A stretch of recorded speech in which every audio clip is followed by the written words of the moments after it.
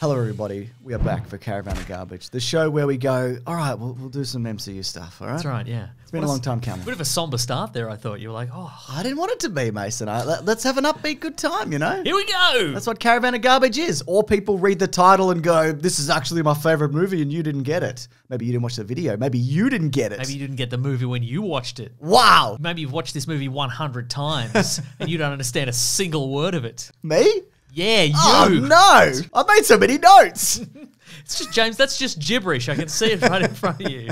So we are over the next three episodes every Tuesday going to be talking about the Iron Man trilogy, Maso. That's right. Leave a like if you could. The shoot to trilogy. Absolutely. Remember they, remember they were trying to be like, oh, his, his theme song is always ACDC songs. yeah, yeah. They never got to rock and roll train. Nobody did. No, nobody got Nobody to rock and roll got train. to, to rock and roll train. So, if you remember, uh, in the months and years leading up to this movie, Mm-hmm. it was a big deal for Marvel because they weren't doing well. They'd sold off a lot of their properties, and the headline was when they announced solo films for like Captain America, Ant Man, Thor, Iron Man. Was Marvel rolls out their B team. You Yeah, know? some, some some real dregs, and and it was like you know they're casting with unknowns and has-beens, mm, hacks. and a lot of people. Like I wonder, I wonder in retrospect. I think this movie's aged really well. Agreed. I've I've seen some criticism of it, you know, in the recent past where people have said, oh, it's, you know, it's. Oh, it's you know it's not that special, is it? But at the time, yeah, it's it's very unusual. I mean, th- this was a turning point for Marvel in 2008. They they'd produced some disasters. They had burned a lot of their existing properties. Yep. Like you said, they all their hottest properties at the time: the X Men, Spider Man, Fantastic Four, Ghost Rider. Ghost Rider, Blade. Like uh, they they had they had licensed them out for very cheap rates. Yep. Forever, essentially. They're, Yeah. there's- They still haven't got a number of them back. Yeah. And again, this is their the the characters they had left to work with were kind of their C list Mm. and and D list characters. And my favorite character as a kid was Iron Man. And so I faced a lot of questions like, is he a robot? What's his deal? What's going on there? Explain this to me. Explain it to me. And I was like, I won't. You're gonna have to wait for the movie with Tom Cruise in the 90s. Well, that's the thing because the rights to this eventually lapsed and went back to Marvel, but it bounced around multiple studios Universal, Fox, New Line. Tom Cruise was on board at one point, Nick Cage was on board at one point. I got a question for you though. If they made this movie now, and Robert Downey Jr. was the age now that he was then, Okay. and had had his past, you know, it- with mm-hmm. drug abuse and all that, even though he, he'd come clean at this point, do you think Disney would hire him?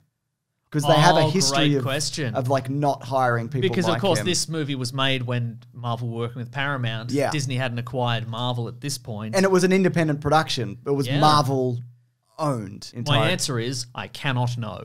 That's a good answer. For I don't know the mysteries of Disney employing some sort of time traveling Robert Downey Jr.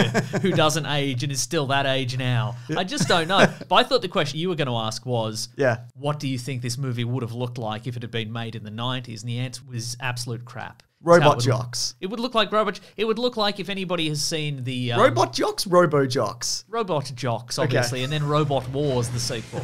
uh, but it would look like if anybody has seen the uh, the old Captain America telly movies Yeah. from back in the day, where he uh, he he feigns being sick so he can hijack a car twice. Yep, yep, yep. Uh, and he's got a he wears a big sort of motorcycle crash helmet. Yes. That's what this character would look like. 100%. It just look just like enormously head heavy and ungainly. Yeah.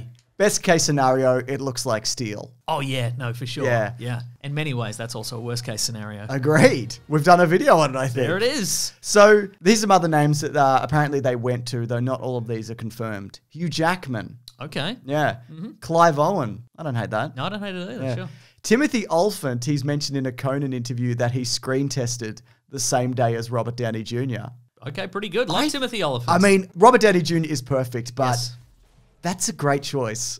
yeah, Timothy agreed. Yeah, yeah. yeah. Sometimes you, we hear these lists of casting options and we're like, what? What? Why? How dare you? must have a great agent. You know, that sort of That's stuff. right, yeah. these are all good. the thing is, as well, it's great casting. It's perfect timing for Marvel, for Robert Downey Jr. They had the freedom to cast him because it was outside of a regular studio system. Mm-hmm. He was an absolute roll of the dice, if you don't mind the pun, Maso. Yeah. And here will be the footage of when he rolls the dice. Ben will put it in. As I understand it, he doesn't even he isn't the cast member who was paid the most for this movie. No, that was Terrence Howard. Famously, the first man to be hired for the Marvel Universe. Yeah. And also the uh, first man not to be rehired for the next sequel. First in, first out, mate.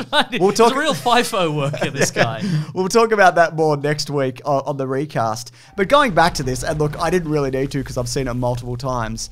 It does feel kind of quaint because a lot of this has been replicated since. The template was set, and then we see it in an Ant Man or a Captain Marvel. Like we see it in these origin movies. It is you know? a fairly standard uh, system. Uh, you, Yeah. you get yourself a flawed hero, and then they get into a spot of hot water, and then they gain the powers, and then they learn a valuable lesson about and, life. and then somebody shows up who has their powers. and then a blue sky beam shoots into the air, Yep. and that's the end of the movie. That's every movie we've ever seen. Every movie, I'll, I'll not, I'll, I'll, I shan't see another movie that Yeah. not like that. But this was kind of, you know, the first one, uh, and it and it works because uh, I think it's not about the sky beams the suit really. Yes. the suit is awesome and wouldn't have worked in the '90s. It's because the characters and the performances are really good. Well, that's exactly it. And I think it's also because they hired somebody like Jon Favreau, and of course, Kevin Feige was also working on this from the get go. He'd already been a producer in more of a minor role on a number of like Fox X Men properties hmm. and a bunch of other stuff. So he'd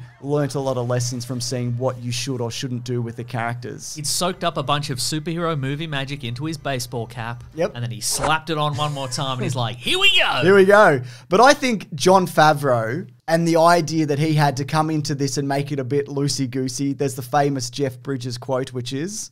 There was no.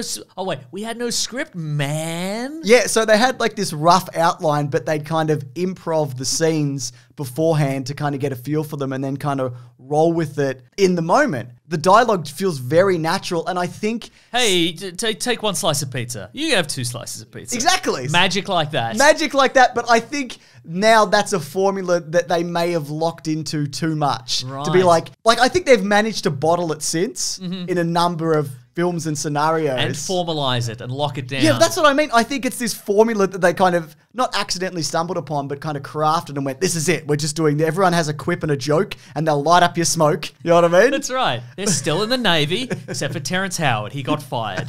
Uh, it's interesting because in the 1960s, Marvel were famous for writing their comics with the Marvel method, Yeah. which is where the writer would have some sort of loose outline of the plot, and then the artist was just allowed to to sort of run rampant and draw whatever they want. And it's kind of similar to how this movie. I was put together. agree. They're like, okay, he's got to start here and end here, but in the meantime, say whatever you want, baby. yeah, that's it. What, what, Tony Stark can have how many slices of pizza he wants. two. He has to, yeah. Now that's locked into the Marvel formula. Everybody's got to take two slices of pizza.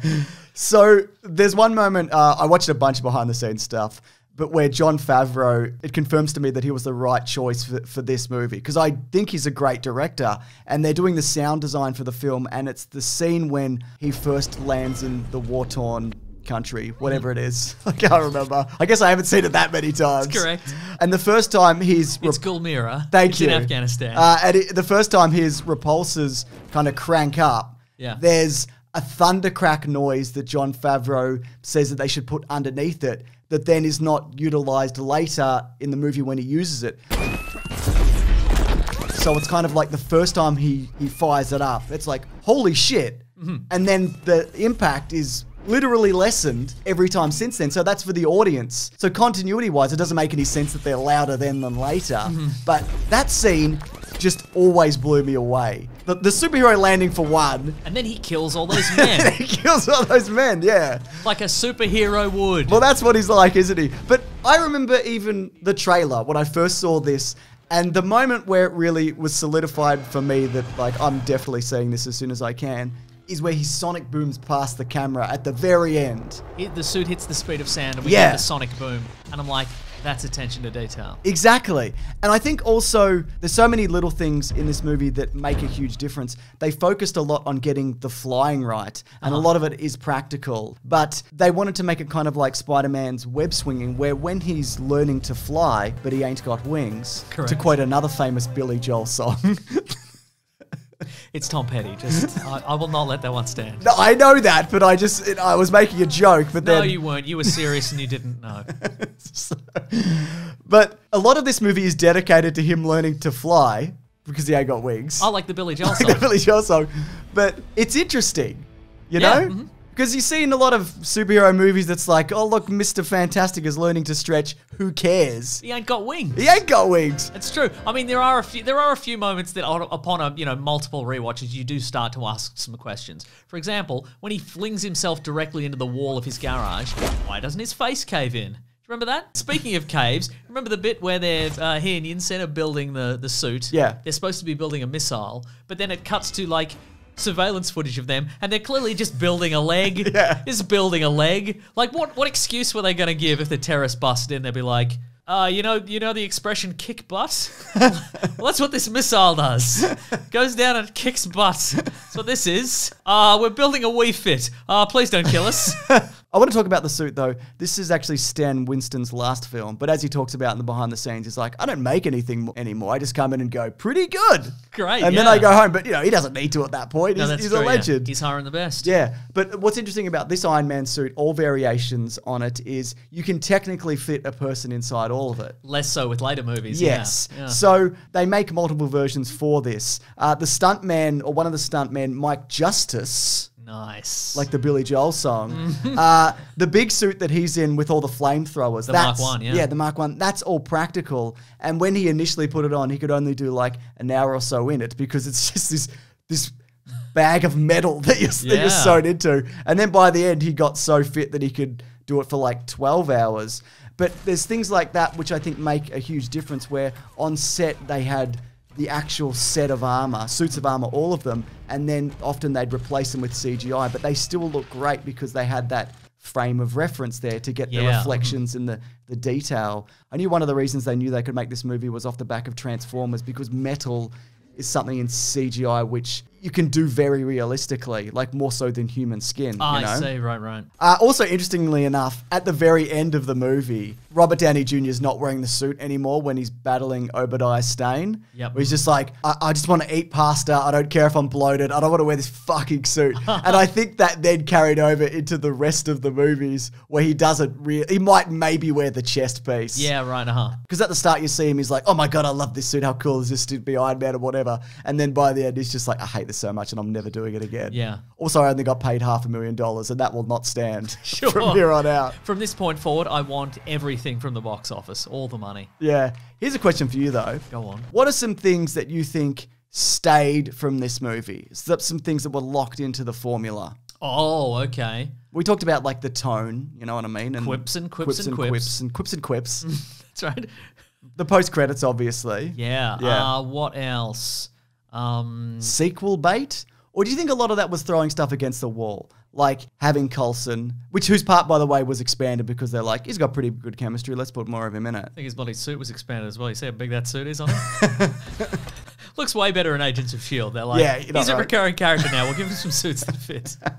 Yeah, uh, I don't know. What do you reckon though? Uh, I mean, you know, I think the the number one thing, and and you know, quips is a very kind of uh, uh, diminutive way to put it, but I Yeah. think it's the idea of we're not taking this all that seriously. Mm. Like the world, maybe the world's going to end, but we are having a little bit of, bit of fun, Yeah, I can fly. and it's kind of like that nod and the wink at the audience, as if like, because again, this like prior to this, who saw superhero movies? Nerds, but I mean, after, after, who's who's seeing who's seeing these movies now? Billions of dollars Yeah. of tickets worth, and it's because somebody might, you know, go into the, one of these movies and look at a character and go, "That character's costume looks really dumb," and then a character on screen will go, "Hey, your costume looks really dumb." Green Lantern. Yeah, and they'll go. Huh. Well, I guess uh, I guess we're all on the same page. I guess I will watch this movie. It's Yeah. a- and and it's good for dismantling criticism as well. Mm. Oh, how did he go from there to Gulmira in the span of? Doesn't matter. We're Yeah. just being being silly. It's- Being just, a bit silly. He was just being silly. We're all just being a bit silly, all right? Yeah. Here's some things though that I think might be might be lost along the way. These used to be Terrence Howard. Terrence Howard, yes. R.I.P. Um, metaphorically. Mm-hmm. So these were originally uh, shot on film. They were all shot on film. That's film. true. The first three are shot on film, Yeah. I think. First three Marvel movies, rather. I think a lot of the practical stuff has has gone out the window also. Definitely, yeah. But I think also a lot of the green screen and CGI is so good now that it, it doesn't matter as much now as it, I think it still matters, but it, it mattered more Yeah. then than it does now. I know? think if the budgets hadn't kept up with the uh, the popularity of these films, if if they were still making you know eighty million dollar movies, doing it on digital and all CGI maybe would not look as good. But you know, Yeah. they're, they're putting two hundred million plus into these movies. so- Exactly. Yeah. There's even moments where they're in the desert and those helicopters fly in to rescue Tony Stark. That's real. And it, there was also like a real sandstorm when, you know, they recover his armor and Mm-hmm. they're going to recreate it. And they were just like, there's a sandstorm and we're just going to shoot this anyway. Sure, Right. You know what I mean? Yeah, yeah. Which, which I quite like. But even the flamethrowers, they're real for the most part. I know there's one moment, you told me this, where the Mark 1 suit goes down on his knees and then stands up. That's not real, is that right? Because the suit can't. Oh, it can't like bend that? at the knee, perhaps. Maybe so. I think you told me that. s- I said a lot of things in my youth that were lies, yeah, sure. but maybe. Yeah. Sure. But um, the character of Iron Man himself, this is something I only kind of realize now going back to it. It's like he considers himself already dead. Like for a lot of these movies, and I think even up to Endgame in a lot of ways, he knows he's on borrowed time. Sure. Yeah. Like yeah. he's poisoned in one of the movies, you know what I mean? Mhm, He's got massive PTSD. I think only when he starts a family and he wants to build something, he's like, this is now something I want to hold on to. But I think he knows that he was never supposed to get this far. Oh, do you think perhaps it was all a dream in the mind of a man who got blown up in, in Afghanistan? Perhaps it was. I think it was. I'm I- sure that's a I think it's safer to assume that. Yeah. And and we should ask that of Kevin Feige every time we see it. it's true, yeah. So was this all a dream, Kevin? Kevin, answer my letters, Kevin. Anyways, my point is he was supposed to die because he sucks, like as a hmm. man. He's not a good person. Yeah, that's true. Yeah. Here's something, uh, I was going to call it trivia, but I'm going to call it little things. Little oh, things I've got a couple of little things. Let's do some little things. I've written here a lot of Obadiah Stane's menace evaporates when you remember the bit where he rides a Segway. sure. Yeah, That was so 2008, wasn't it? the little 2008. Yeah. Uh, what do you got? What's a little bit you've got there? Uh, the Mandarin was supposed to wear the suit originally of the Ironmonger or something in that style, Uh-huh. and he was going to be in an early draft an Indonesian terrorist. But Ah. Jon Favreau was worried about how you would handle a character like the Mandarin. The Ironmonger was then supposed to become the villain in the second movie. Uh-huh. But then they were like, the Mandarin's a, a weird character to balance. From a white guy like me. Which I guess is why they haven't touched it in over a decade Yeah, for properly. I mean, they did like the Guy Pearce thing, which we'll get to. Yeah, yeah, yeah, yeah. But you know, they're like, "Ugh, we really gonna roll this guy with a Fu Manchu mustache and, And, he, and he's got alien dragon rings that Yeah. are magic, but also technology or something. Yeah. sure, yeah. Uh, what about this? An early draft of the script revealed Tony Stark to be the creator of Dr. Otto Octavius's tentacles from Spider-Man. Avi Arad, yes. famous Spider-Man ruiner and producer, was a producer on this. Mm-hmm, Ah, he was yes. quickly kind of shuffled, Shuffle aside. away, okay. But Iron Man just creating villains all day, you know what I mean? Yeah, for sure. Uh, Iron Man. Even in universes he doesn't exist in, he's creating villains. That's right. Iron Man also the creator of, and here's something that I this this movie's been out since 2008. Yep. I've never been able to figure it out. At one point, Stark does say that uh, Stark Industries is responsible for the life-saving technology of Intellicromps. What? Intellicromps. Has it got an MCU wiki? He's having. It's not. I couldn't find it. He's having that interview with the with the reporter, and he's like, "We save lives with our Intellicromps." um. It sounds like he misspoke. I, maybe it does, and I mean, maybe he just maybe he just threw it out there, expecting the reporter to not have an answer or to not look it up. yeah, yeah. But I'm based on the name. My assumption is it's some sort of Wi-Fi enabled crumpet. Because you know, sometimes you put a crumpet in a toaster, Yeah. you put it down, it comes up, it hasn't been done enough. You put it back in, comes up, it's burnt. yeah, oh, yeah. But you're connected to Wi-Fi. Yeah. always perfect. Peace in the Middle East. That's all I'm saying. I think it might be a specifically British invention, but then it all went under because of Brexit or whatever. Yeah, You know what I probably mean? that. Yeah, yeah, yeah, yeah. They yeah. couldn't get the parts. That's the whole right. Mm-hmm. company folded. You know what I mean? Yeah. Thanks, Boris. Uh, the likes of Mark Millar, Joe Quesada, Brian Michael Bendis, they were commissioned, and you see them in the behind the scenes thing at a roundtable being like, Iron Man is this and whatever. So a lot of famous comic book artists That's not specific enough, if you ask me. just No wonder me, they didn't get the cut me the check. Yeah. I just think that's really, like, that's something they they don't often do. Get That's true. actual comic book creators. Yeah. Uh, Paul Bettany, who now famously plays the Vision, recalled all of his lines as Jarvis in two hours. He said it was like performing a robbery. So in a Terrific. way, it is. Yeah. Uh, Joke's on you now, Bettany. yeah. Eight hours of makeup a day. Well, now it's just like they paint his face like one color, isn't it? Then CGI the rest. Well, that's even more embarrassing. I agree. Uh, Peter Billingsley. Ah, that Ralphie from A Christmas Story. Yes. Is uh, one of the scientists uh, that um, Obadiah Stane yells at. Tony Stark was able to build this in a cave with a box of scraps. Because he can't build a tiny little arc reactor. And then he comes back in. Spider Man Far From Home. That's right, That's exactly. Uh, here's something which is fascinating. If this film didn't succeed, Marvel would have lost the intellectual property rights to their library. I actually made a video on this. It's called something like Marvel's Biggest Gamble, where they just went, we're just going to go all in. Yeah, I mean, but in, in a lot of ways, it is kind of a sweetheart deal. Mm. Because if you made a huge budget Iron Man movie and it sucked really bad, I would never. I'd make a good one. who is going to take another gamble on it? You know what I mean? I mean, you get everything else though. Yeah. You get the company. They probably make silk boxer shorts. Sure. That's my favorite hero. My favorite that was my favorite Marvel hero from as a kid. Silk boxer shorts. Okay, I just have one more thing. Uh, this is from the start of the movie. Okay. Before we cut to the flashback, uh, I've written here. I would also get my phone out in the middle of a firefight. Tweet about it or whatever, you know Yeah, what I mean? tweet about it or whatever. Yeah, get a, get an Instagram live. Can you believe this? I'd say might might get you in on the call. I you would- be like, I can't believe this. Just watch you get shot in the head. yep.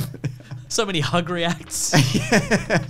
So, uh, one thing I do want to talk about for this, which I think is fascinating, is the box office performance. Please. Because this was the eighth highest grossing movie of 2008. These are the movies that came before it The Dark Knight at number one, Indiana Jones, Kingdom of the Crystal Skull, Kung Fu Panda, Hancock, Mamma Mia, Madagascar, Escape to Africa, Quantum of Solace.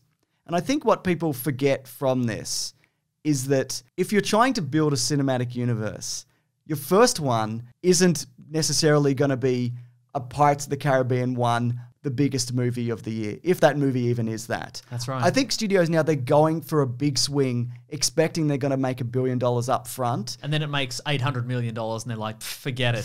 We're canceling this, and we're waiting two years, and we're doing it again." The Dark Universe. Exactly. But then, like the first Marvel movie to make a billion, I, I think it was Avengers. Yeah. You know? Which was four years after this. and ultimately, the only people that learned from this and were successful at it the MCU, obviously, mm-hmm. and the Mamma Mia franchise. Yes, and here right. we go again. Anyways, all I'm saying is that everybody who worked on this movie in hindsight should get $10 million. Disney should just give them $10 million. And anybody who watched it, ten million dollars, Even more so. per viewing. I watched it twice for this. Did ya? Yeah. Good stuff. Anyways, we'll be back next week to talk Iron Man 2. Uh, which I think tries to replicate a lot of this and doesn't. but Mm, yep. it's got some, you know, some pretty decent stuff in it. I feel. I agree. Yeah, Mostly the the suit and the briefcase, it's the suit in the briefcase. Yeah, what- absolutely. and Sam Rockwell. Oh yeah, good the point. suit and a briefcase of actors.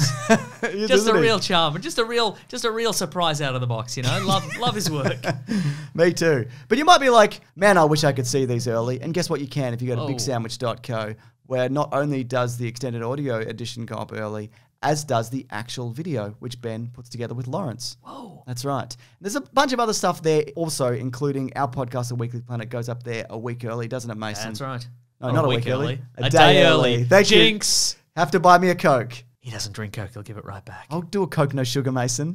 It's not the rule. It's not how it works. Good point. We've actually done commentaries up there for a bunch of Marvel movies, including Iron Man. Actually, right. if you do, if you do want to check it out. Oh, but yeah, like I said, it's like it's like a Patreon tier, isn't it, Maso? It's nine bucks a month if you do want it. But you don't have to. If you got suggestions for Caravan of Garbage, let, let us know. I mean, we're booked for the next couple of weeks, but after that, Should we do Iron Man 2? Let us know. Yeah. Should we do Iron Man 3? Let us know. let us know whether you want that. Yeah. Anyways, I'm at Mr. Sunday Movies on Should we do Iron Man Oh, 4? Yes, I mean, we will. Eventually. If I mean, if they make, yeah. If they make it, we If you petition Kevin Feige in the street, like, yeah, Kevin, Kevin, I'm Man 4. Yeah. Is it a dream? Do you reckon his hat's running out of that juice? No. He's got it all. It's the, it's the juiciest hat in the land. All right, I'm at Mr. Sunday Movies on Twitter. I'm at Wikipedia Brown on Twitter. See you next week. Grab that gem, you guys. We'll see you next week. Jinx Goodbye. again. Jinx Ah, again. You, you, jinxed me. Buy me a Coke, though. Hey, I'll buy you a cake.